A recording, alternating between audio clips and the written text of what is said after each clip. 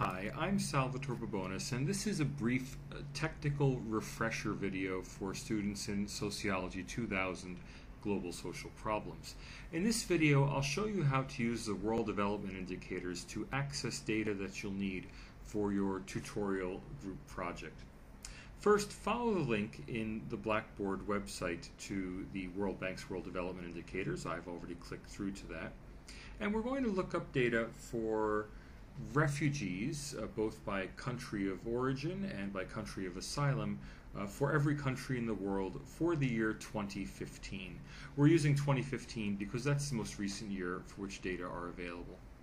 When you go to the World Development Indicators, this is the default page you'll see. First, let's select countries. We specifically want countries, not all entities in the world. And I'll just click the box to select all. Scrolling down, I'll then choose series and I will search for the word refugee. Refugee. And you'll see that there are two different series available for refugees, refugee by country of asylum and refugee by country of origin. I'd like both of those series, so I'll click on both. And finally, to choose the time, I just want to choose the year 2015. I click Apply Changes and my data will appear momentarily. Now you'll see this data is not in a very convenient format because the countries are on a drop-down menu. I'd really like to see the data in a way that makes it easier to see everything at one look.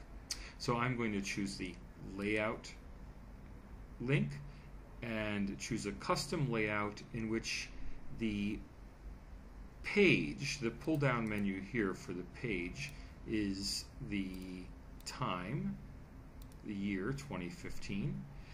The series are along the columns left to right, and the countries are down the rows top to bottom. Page, column, row. Apply changes, and voila, I have a list of countries with the data I'm looking for.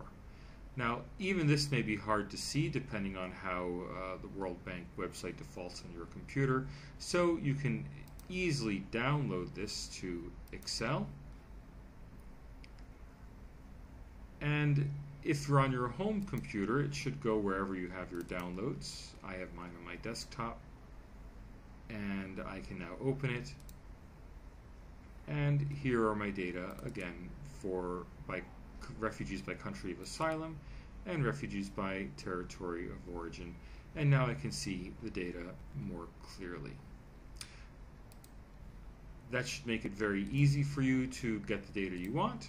Good luck with it and enjoy the project.